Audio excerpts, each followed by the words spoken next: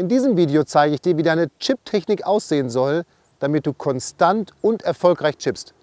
Hi, mein Name ist Fabian Bünker, ich bin PGA Golf Professional und Head Coach der Online-Trainingsplattform Golf in Leicht.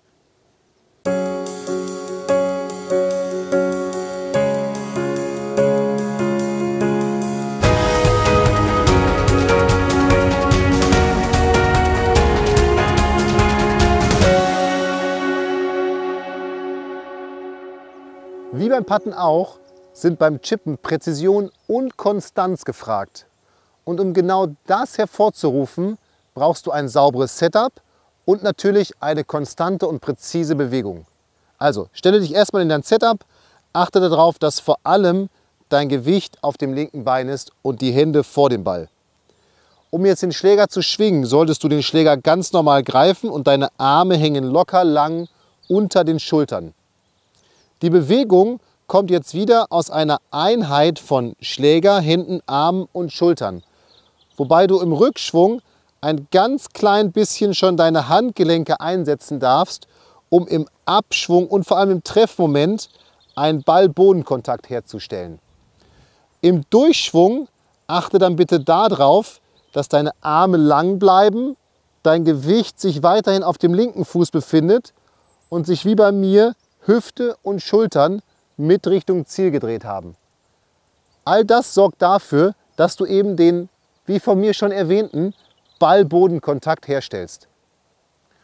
Und wenn du das hast, dann entscheidet dein Rhythmus darüber, wie konstant und präzise deine Bewegung eben wirklich ist.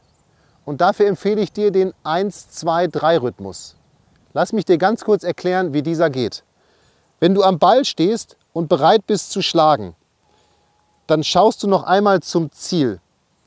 Und wenn du mit deinen Augen auf der Ballziellinie zurückgewandert bist und am Ball angekommen bist, zählst du 1. Du holst aus, Rückschwungende ist 2 und die 3 ist das Finish. Es reicht, wenn du innerlich mitzählst. Du musst also jetzt nicht am Ball stehen und immer laut 1, 2, 3 zählen. Dann denken natürlich irgendwann deine Flightpartner oder Mitspieler, was ist denn das für ein Typ? Was zählt denn der da immer? Also keine Sorge, einfach innerlich mitzählen, 1, 2, 3.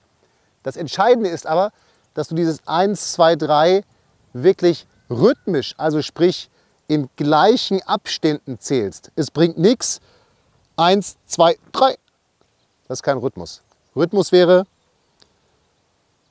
1, 2, 3. Und genau so gleichmäßig musst du auch zielen.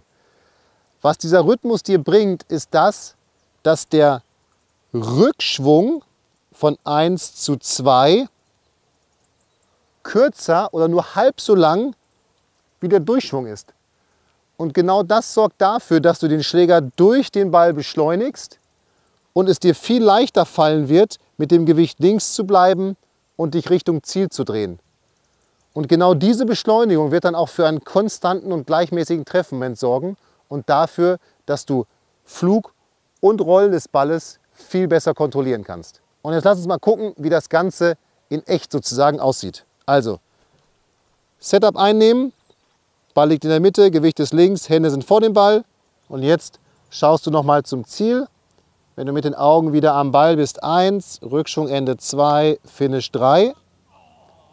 Und du hast gesehen, dass ich im Rückschwung ganz leicht die Handgelenke angewinkelt habe und im Durchschwung die Arme gerade hatte mein Gewicht die ganze Zeit links geblieben ist und sich Hüfte und Schultern mit Richtung Ziel gedreht haben. Und wenn du darauf in deiner Technik und in deinem Rhythmus achtest, wirst du viel besser chippen, vor allem wirst du viel präziser einschätzen können, wie Flug- und Rollverhältnis zueinander sein sollen. Und jetzt wünsche ich dir viel Spaß auf dem Chippinggrün und vor allem viel Spaß mit richtig guten Chips auf dem Golfplatz.